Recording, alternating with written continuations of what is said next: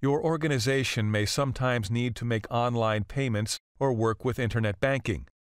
During these procedures, no one is secured from financial information theft that inevitably leads to material losses.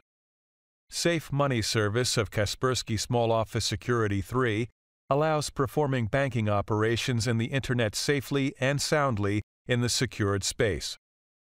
Safe Money component is enabled by default. When you enter the web banking site or pay for goods in some online store, it will offer you to open the page in the protected browser. Check Remember for this website box to always open the page in the protected browser.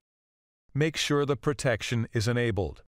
Open the Settings window of the application. Select Safe Money in the left part of the Settings window. Make sure a Safe Money component is enabled in the right part of the window. Note that the Safe Money component works only when self-defense is enabled. For the correct working of the component, the following plugins must be installed. Content Blocker plugin, Safe Money, Virtual Keyboard plugin, URLs check. To open the bank or payment system website with the protected browser, you can also add the website manually. You need to select Safe Money in the main window of the application. Click Add Bank or Payment System.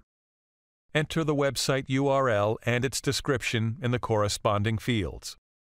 Your link appeared in the list. You can open it right from the Safe Money window. The link will be opened in the protected browser.